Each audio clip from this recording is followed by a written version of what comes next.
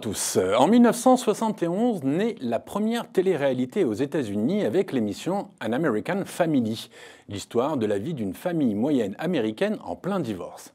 Un demi-siècle plus tard, le programme American Family n'est plus, mais son héritage, lui, est resté colossal et son modèle, suivre des gens dans leur vie quotidienne, est aujourd'hui omniprésent dans l'univers des réseaux sociaux.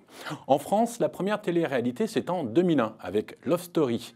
Des candidats du Loft, on est arrivé au ch'ti et leurs cousins marseillais, viendront par la suite les premières stars du web, Norman, Cyprien et autres Squeezie, pour arriver à ce qui nous concerne aujourd'hui, les influenceurs.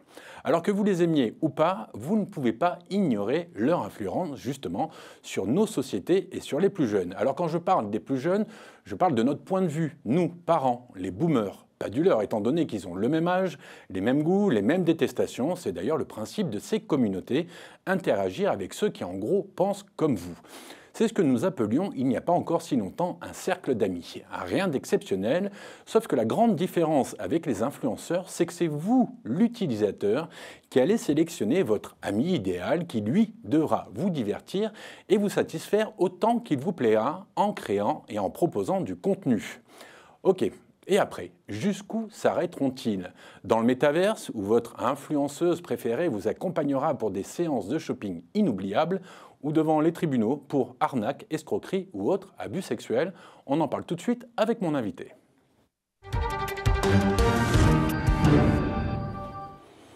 Et mon invité, c'est vous, Ivana Ononino. Bonjour. Bonjour Laurent. Vous êtes une influenceuse camerounaise, vous êtes suivie par près de 300 000 personnes sur Instagram. J'ai calculé que si on regroupe à peu près tous les réseaux sociaux, vous avez à peu près 450 000 followers. Bravo. Ah. Et merci, surtout d'avoir accepté notre invitation. Alors ma première question, elle est toute simple. Comment décririez-vous votre profession, votre activité? Alors ma profession euh, d'influenceuse ou créatrice de contenu, c'est vraiment euh, une activité assez simple, je trouve. C'est vraiment donner du contenu marketing à une communauté qui vous suit et vraiment euh, faire vivre ce contenu. Voilà. Donc, c'est ce que je fais tous les jours. alors, comment vous en êtes arrivé là? Parce que vous êtes euh, assez jeune, vous avez moins de 30 ans, je crois que vous avez 25, 26 mhm. ans, c'est ça? J'aurai 28 ans. J'ai 28 cette année. J'ai 28 cette année. Allez, on va dire que vous êtes encore très jeune. Euh, comment vous en êtes arrivé là Et est-ce que et pourquoi vous, vous êtes arrivé à être influenceuse là maintenant en 2023 Je vais commencer par le pourquoi euh, parce que c'est il y a toujours une histoire derrière. Quand j'étais plus jeune, en fait, j'ai toujours été très inspirée par euh, le métier de l'art, le cinéma, la musique. Et je trouvais ça vraiment euh, très charmant de voir à quel point les gens arrivaient à nous transmettre des émotions via la télé. Et donc, moi, j'ai toujours j'ai été bercée par les télé-réalités comme American Next Top Model, euh, Secret Story, etc. Et je me disais, waouh, un jour, je serai à la télé aussi comme ça. Maintenant, le comment, euh, j'ai gagné un concours de beauté au Cameroun en 2015, Miss Étoile Cameroun. Et de là est vraiment parti un développement personnel autour de, de ma profession actuelle. Alors, vous, quand je vous ai demandé tout à l'heure euh, quelle était votre activité, m'a dit en fait c'est assez simple. Euh, si c'était aussi simple que ça, je pense qu'il y en aurait, il y aurait beaucoup beaucoup de personnes qui le feraient, en tout cas qui feraient des mhm. contenus de qualité comme vous le faites, parce que il y a faire des choses bien et faire des choses. Euh, Exactement. Quelle est votre journée type? Comment Ivana Ononino démarre sa journée du lundi au dimanche? Est-ce que vous avez un planning bien établi? Est-ce que, j'imagine que contractuellement, vous avez des obligations, mais comment se déroule votre, votre journée? Bah, Une journée type, déjà, ça dépend du jour parce que vu que j'ai assez de contrats et des contrats à respecter, donc j'ai du contenu à fournir euh, aux entreprises et aux clients qui me font confiance. Donc, j'ai des journées où je suis en mode 100% production de contenu. Ça veut dire qu'il faut trouver des idées, il faut savoir les monter, parce que moi, je fais mon montage moi-même, je fais l'édit moi-même de mes vidéos. Donc, chaque journée, c'est une nouvelle journée où je me demande comment est-ce que j'arrive à captiver l'attention de la personne qui va regarder mon contenu. En plus de ça, de ces contenus-là que je fais pour la communauté, tout au long de la journée, je dois entertain le public qui me suit. Donc, c'est vraiment euh, un univers euh, divertissant. C'est un univers divertissant et c'est tout le temps euh, rapporter, ramener du divertissement à la communauté. Alors, Ivana, euh, nous avons un point commun, c'est que nous faisons des métiers d'image, et donc, nous, de notre côté, nous, les vieux de la télé, euh, on sait quelle est la difficulté d'être quotidiennement euh, en apparence, hein, la même personne, avec la même humeur, avec le même sourire, avec la, même bienveillance et la même disponibilité. Je sais à quel point c'est compliqué. Euh, vous qui le faites plusieurs fois par jour, quelle est votre, votre, quelle est votre technique, quelle est votre, votre astuce, quelle est votre potion magique pour pouvoir tenir comme ça quotidiennement sans jamais vous lasser? Ma potion magique à moi, elle est, je pense que c'est juste rester naturel, c'est rester moi-même. J'essaye jamais de, de, forcer quoi que ce soit. Si j'ai envie de faire un contenu aussi simple, que ce soit chez moi, à l'extérieur, etc., je fais comme je veux. Parce que les marques, en fait, qui me contactent et les gens avec qui je travaille me suivent d'abord de base pour ma personnalité. Comme tu l'as dit tout à l'heure, c'est vraiment choisir un ami que tu vas suivre, un ami euh, que tu suivras au quotidien. Donc, euh, les gens qui me suivent arrivent à s'identifier à moi il me voit plus ou moins comme une sœur, une amie, etc. Donc, je ne me mets vraiment pas de pression. Hein. J'essaye toujours d'être le plus naturel possible. Si je veux le faire maquiller, je le fais maquiller. Si je veux être sans maquillage, je le ferai sans maquillage. Si je veux le faire à la plage ou à la maison ou en train de manger, je le fais.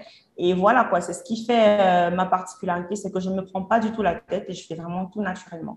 Parce que je pense que c'est pour ça que les gens sont là aussi si c'est pour euh, voir des gens hyper bien serrés, tout le temps bien apprêtés, on peut regarder la télé, hein, le cinéma est là pour ça.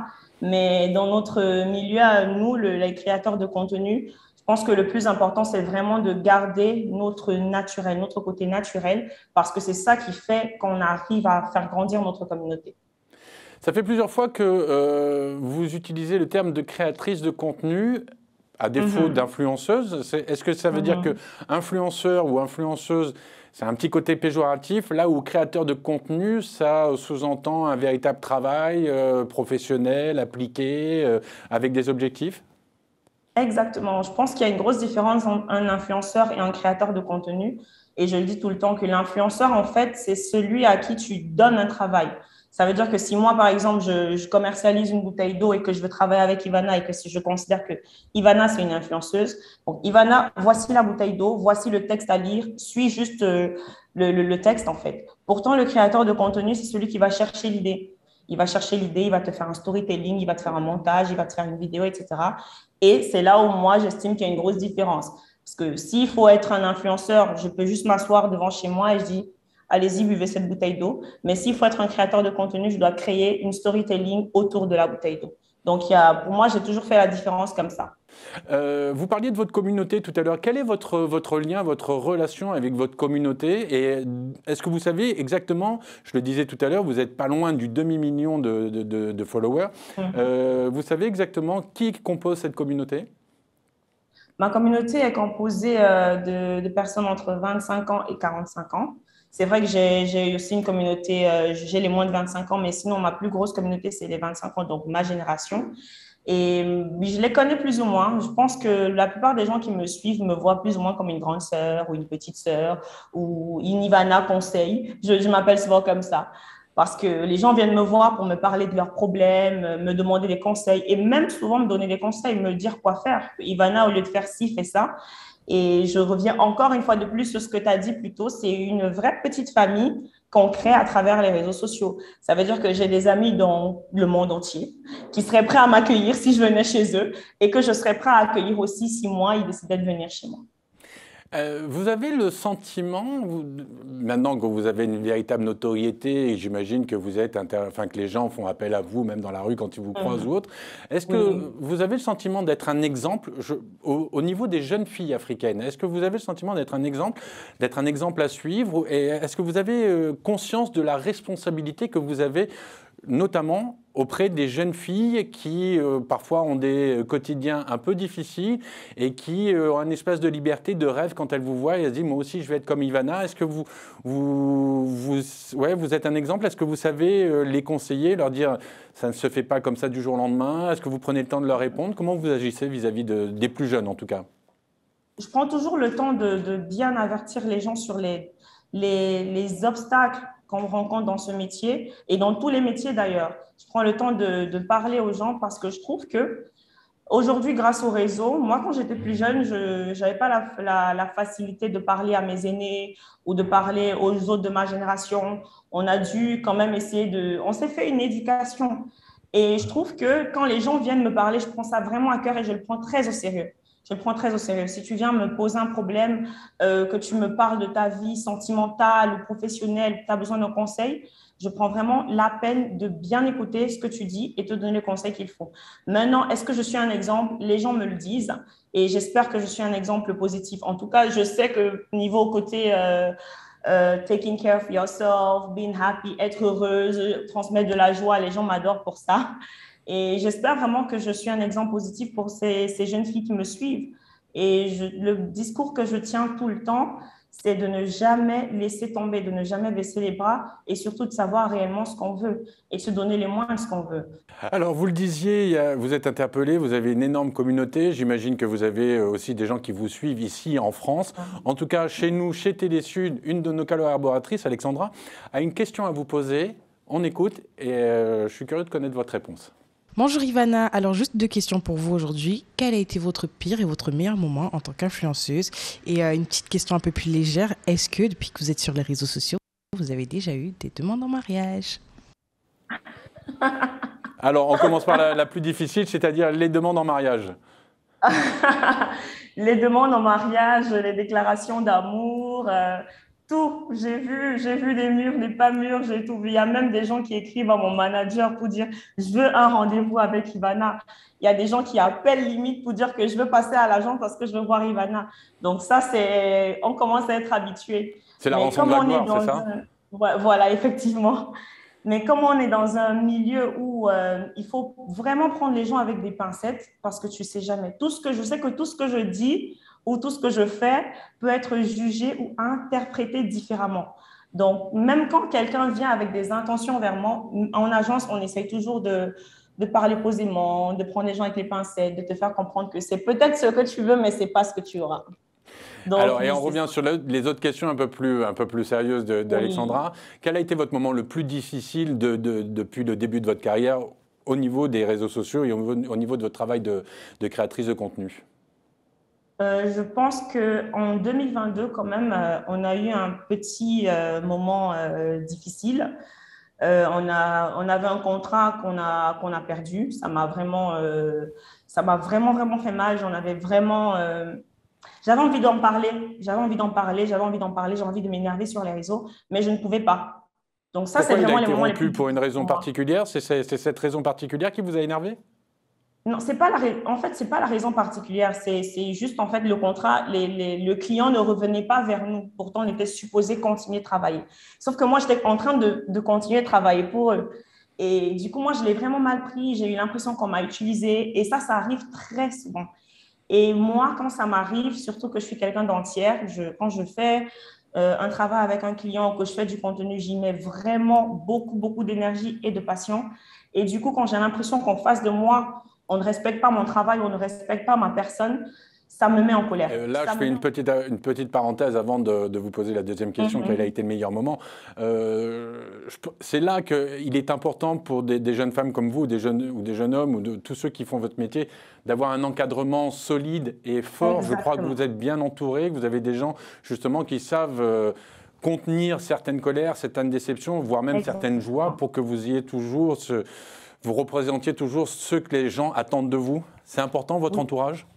C'est très important. Que ce soit l'entourage à la maison, la famille qui est toujours en train de me soutenir ou en agence, mon manager qui est toujours au téléphone avec moi, qui me dit toujours Ivana, vas-y, c'est rien, ça arrive, calme-toi, tu vas passer à autre chose, n'y pense pas.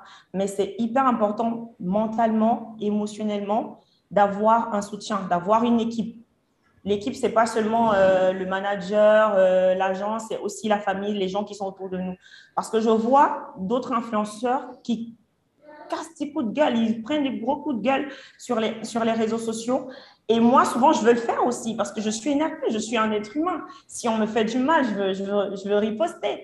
Mais là, j'ai mon manager qui me rassure et qui me dit que c'est pas parce que tu as l'impression qu'ici, tu as perdu ou qu'on a abusé de toi que ça sera comme ça tous les jours.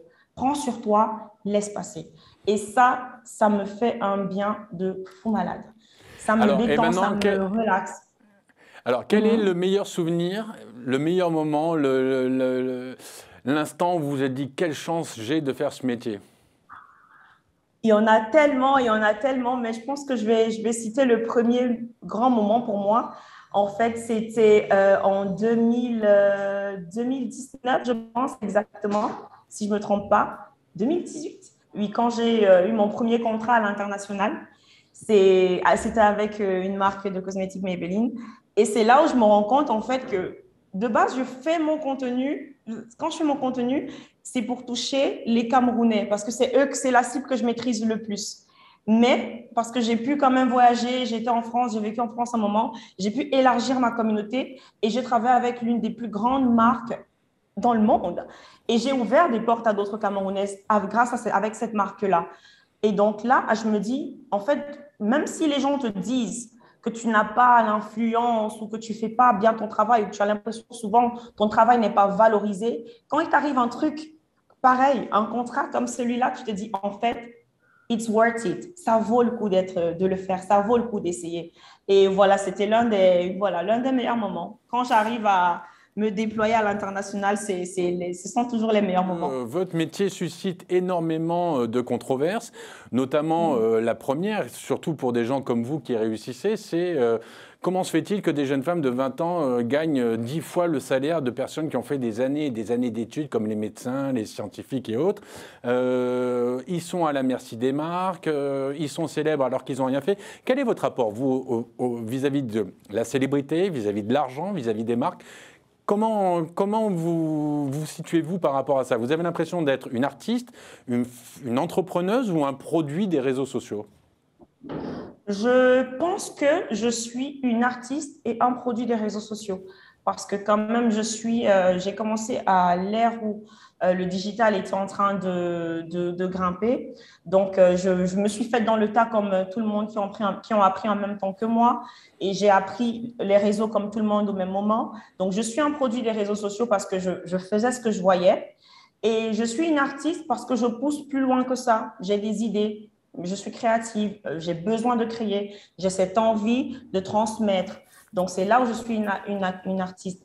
Maintenant, tout ce qui aura euh, comme euh, mauvaise influence, bad buzz, etc., ce qui se dit sur les influenceurs, je pense que ça dépend du talent. Ça dépend du talent. Ça quand, on dit, quand je dis talent, je parle de créateur ou influenceur. C'est comme ça que Vanessa, mon manager, euh, elle nous appelle les talents. Ça dépend du talent. Parce qu'il y a des talents qu'il faut encadrer, qu'il faut former, qu'il faut accompagner et surtout qu'il faut diriger. Et il y a des talents qui sont beaucoup plus libres d'esprit.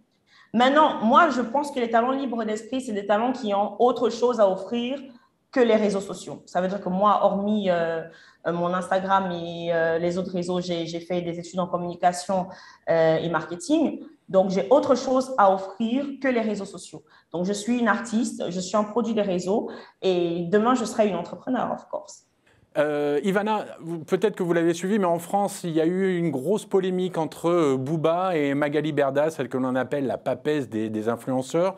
Euh, il y a eu aussi des accusations auprès de Norman Tavo sur des agressions sexuelles. Il y a eu d'autres histoires avec dernièrement un, influenceur qui a été arrêté pour abus. Enfin bon, bref. quelle est votre position par rapport à tout ça? Vous vous dites, bon, ben, ça arrive, hein, personne n'est parfait, et comme dans tous les métiers, il y a des, des brebis galeuses ou vous vous dites, il va falloir être très vigilant, il faut vraiment faire encore plus attention, être encore plus pro Quel est votre, quel est votre, votre sentiment par rapport à toutes ces, ces histoires qui ont été quand même plutôt bad buzz et qui ont quand même euh, un peu touché et affecté euh, la communauté des, euh, des influenceurs?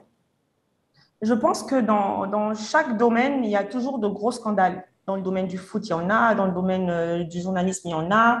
en politique, il y en a. Il y a toujours des gros scandales parce qu'il y a toujours des gens qui vont traîner des, j'ai envie de dire des démons, si je peux appeler ça comme ça. Maintenant, c'est clair que tout ce qui se passe actuellement autour des influenceurs et le fait qu'il y a une grosse star qui en parle tout le temps, ça met une autre lumière sur nous. Ça met une autre lumière sur nous et ça nous pousse, en fait, on est obligé d'être vigilant. On est obligé d'être vigilant. Mais on a toujours été obligé d'être vigilant, mais là, il faut redoubler de vigilance parce que ce que tu proposes à tes internautes, il faut faire beaucoup plus attention parce que quelque chose qui peut peut-être, tu te dis, ce n'est pas toxique pour toi, ça peut l'être pour quelqu'un d'autre. Donc, il faut être beaucoup plus vigilant, il faut faire beaucoup plus attention parce qu'il y a vraiment une grosse lumière qui est sur nous actuellement et on se doit d'être correct. On se doit vraiment d'être correct parce qu'à la fin de la journée, la question qu'on doit se poser, c'est il y a des gens qui nous regardent. Il y a des gens plus jeunes qui nous regardent, peut-être des gens plus, plus âgés aussi, mais il y a des gens qui nous suivent, qui nous regardent et qui, chaque jour, en fait, se, se fient à ce qu'on dit. Donc, si toi, tu n'es pas un exemple, personne n'est parfait, mais si toi, tu pousses tes vices ou ton vice beaucoup trop loin, tu, tu te mets en danger, tu mets ta communauté en danger et tu mets aussi les gens de ton milieu en danger. Donc là, tout le, le seul travail à faire maintenant, c'est être beaucoup plus vigilant, que ce soit les managers, les agents, les talents, tout le monde dans le milieu doit être beaucoup plus vigilant. Faire attention à ce qu'on vend, attention à ce qu'on recommande et surtout attention à ce qu'on dit. Alors vous êtes plutôt team Booba ou team Berda? Aucune des teams, parce que je pense que il a totalement raison. C'est, il est, raisonné de mettre un point d'honneur sur la transparence et l'honnêteté du travail, mais je suis contre l'harcèlement. D'accord. Je suis totalement contre l'harcèlement. Euh, oui, et puis vous êtes bien placé pour le savoir. Euh, Ivana, ne- alors vous, je le disais, vous êtes déjà euh, bien en place dans la profession. Vous avez euh, votre, votre caisse de résonance et vous avez votre communauté. Notre correspondant au Togo, Nicolas Louya, est allé voir une jeune influenceuse qui, je suis sûr, veut marcher sur vos pas. Ça va peut-être vous rappeler des souvenirs. On regarde ce reportage et puis après, vous me dites ce que vous en pensez. D'accord. Dans son petit studio ce matin, Sandra Marilyn s'apprête à entamer une journée de travail plutôt ordinaire. Munie de son ordinateur, du téléphone et d'un éclairage, elle se lance en direct sur son compte Instagram. Alors, merci d'être connectés. Merci à tous. Euh, Je fais ce petit live en fait. euh, Voilà à quoi rime la plupart de fin de matinée de cette jeune femme. À seulement 23 ans, Sandra est ce qu'on appelle créatrice de contenu digital. Avec plus de 25 000 abonnés sur Instagram, elle s'est faite une solide réputation dans l'écosystème numérique du Togo. Je me servais d'Instagram notamment comme euh, d'un portfolio digital où je venais euh, mettre mes photos, partager mes photos. Donc c'est comme ça en fait que moi j'ai créé ma communauté et de fil en aiguille, bah, la communauté s'est agrandie. Euh, je suis devenue un peu tendance, en toute modestie. Je suis devenue un peu tendance et c'est comme ça que les marques m'ont remarqué À travers ses contenus sur le tourisme rural, les créatifs et jeunes entrepreneurs togolais, l'influenceuse n'hésite pas à mettre sa vie en scène au point de créer des liens forts avec sa communauté. Avant d'être créatrice de contenu, Sandra est d'abord modèle photo. Autour de son image, elle a su créer un véritable business. Aujourd'hui, nombreuses sont ces marques et entreprises qui cherchent à s'attacher ses services. Cet après-midi-là, c'est une marque de streetwear made in Togo qui l'a sollicité pour une séance photo dans la perspective d'une campagne de la marque. Entre deux pauses, la jeune dame se fait filmer. Des vidéos de courte durée qu'elle va instantanément poster en story sur son compte Instagram. Link Florent, directeur artistique et copromoteur de la dite marque, mesurant en temps réel l'impact de ces vidéos, voit en elle le moyen parfait pour atteindre sa cible.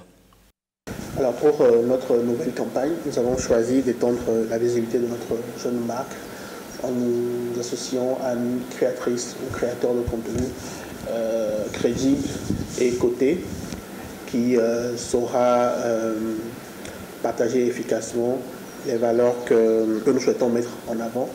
Au Togo, aucun chiffre ne révèle à ce jour l'influence réelle de ces vedettes des réseaux sociaux sur les décisions d'achat ou d'opinion des internautes, mais d'un point de vue général, 75% des internautes achètent un produit après avoir lu un contenu publié par un influenceur. Ivana, j'imagine que ça vous rappelle des souvenirs? Ah, ça, on dirait toute ma vie, là. On dirait mes journées type. Quel, conseil vous donneriez à une jeune, euh, une jeune créatrice de contenu comme, euh, comme cette jeune fille là? Quel est le premier conseil, vous, avec du recul?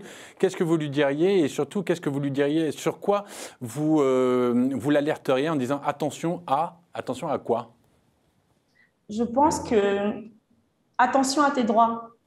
Attention à tes droits, attention à ta propriété intellectuelle, attention à ton contenu.